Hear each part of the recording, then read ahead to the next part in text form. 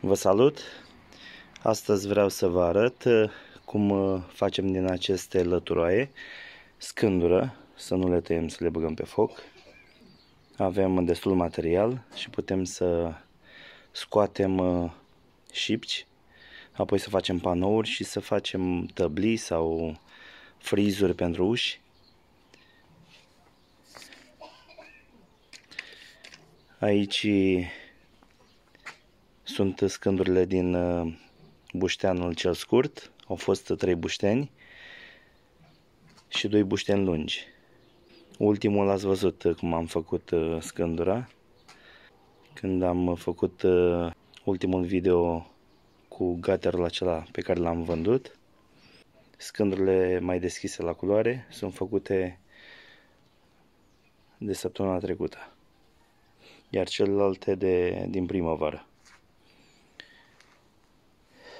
Și după ce am scos uh, scândurile întregi, au rămas și lăturoaiele și nu vreau ca să pierd uh, lemnul acesta pentru că este foarte scump și are fibră dreaptă. Vreau să scot toate scândurile din uh, lăturoaiele acestea. O să le facem cu acest circular. Acesta este un circular cu masă mobilă L-am mai prezentat uh, cu altă ocazie. Este un circular vechi din 81, dar este foarte bun.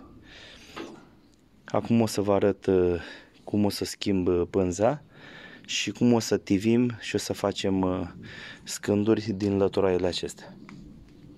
Am ascuțit pânza aceasta, este o pânză mai veche, dar este foarte bună. Are degajările acestea, nu au avut niciodată geluitoare toate discurile care au decupajele acestea sunt uh, destinate pentru lemn verde și pentru tivit.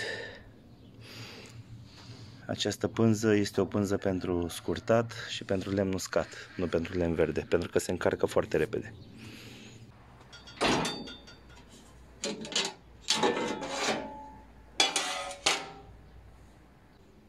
Ca să schimbăm pânza trebuie să blocăm axul. Avem această gaură în blat și avem gaură și în ax.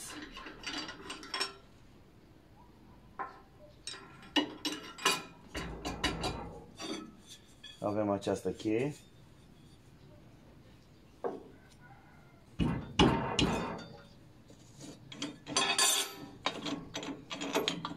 De când am luat circularul acesta, nu am mai schimbat niciodată pânza. Eu am mai schimbat uh, pânze pe acest circular. Eu am mai lucrat pe acest circular acum 10 ani. Am uh, fost angajat la domnul care mi-a vândut uh, acest circular și țin minte cât de bun era și pe atunci.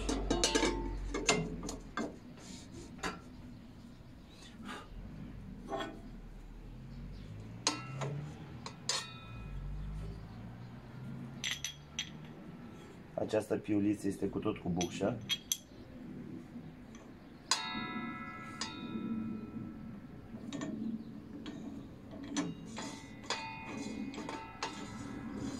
Filetul este pe stânga ca să se strângă atunci când uh, funcționează.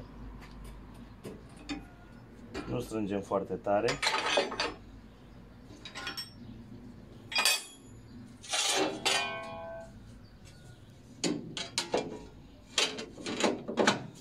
Pânza am ascuțit-o înainte să o pun, dar nu am mai uh, curățat-o.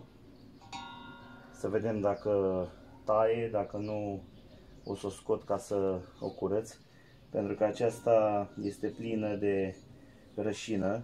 A fost tăiată, cred că, brad cu ea. Lemne rășinoase.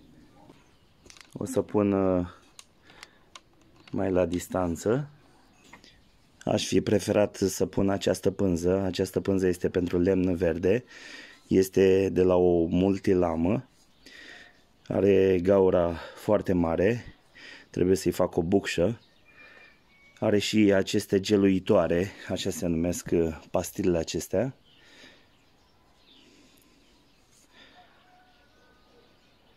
Sunt patru geluitoare la interior și două la către exterior. Atunci când se închide lemnul, uh, rolul acestor geluitoare este ca să consume lemnul și să uh, nu blocheze pânza. A fost curățată, se vede pânza era înnegrită, a fost tăiat lemn tare, lemn care conține tanin, în special uh, stejarul. Pânza are plăcuțele aproape noi, nu sunt sărite din plăcuțe, așa că putem să ne folosim de ea uh, mult timp. O să merg la strungar să-mi facă o bucșă specială pentru această pânză. Uh, mai am uh, pânze cu aceeași grosime care nu mai sunt bune și o să tai pânza și la strungar doar mi-o calibrează.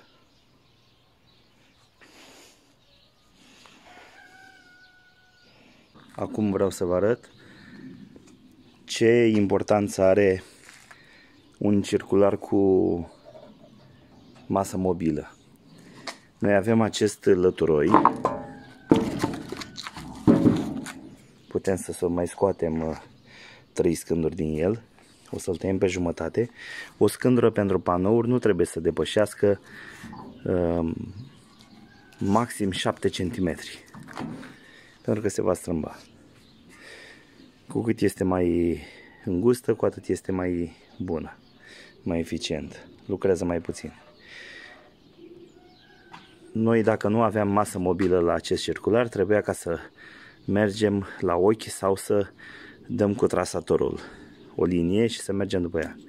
Dar uh, acum o să vă arăt cât de utilă este o masă mobilă. Pentru că masa lucrează pe role, pe un ghidaj drept și așa putem să uh, luăm, uh, să tăiem pe jumătate sau să tivim o latură. Noi o să tăiem pe jumătate ca să putem să scoatem patru scânduri. Chiar patru scânduri o să scoatem sau aici sunt, da, Cam patru scânduri aproximativ. O să vedem acum. O să retrag firungul, să nu depășească de pânză.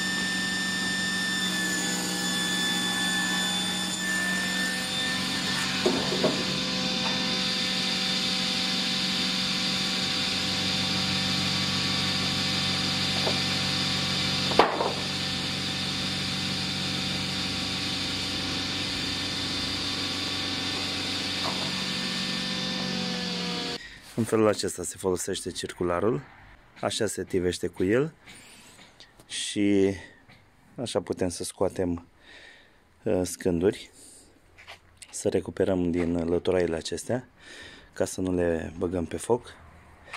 Băgăm pe foc numai acestea. Iar uh, din aceste scânduri o să vedeți ce putem să facem. Putem să facem tăblii, putem să facem fronturi, fronturii sunt uh, ușile acelea um, profil contra profil. Am făcut numai de 3, o să ne ajute și aceste șipci de 4 cm, de 3 cm. Când uh, înainte să facem uh, un front sau să tăiem pentru anumite lucrări, o să facem panouri prima dată și apoi tăiem din panou. Nu trebuie să tăiem și să prăpădim materialul. Așa o să fac cu tot uh, materialul acesta. Apoi o să le stivuiesc.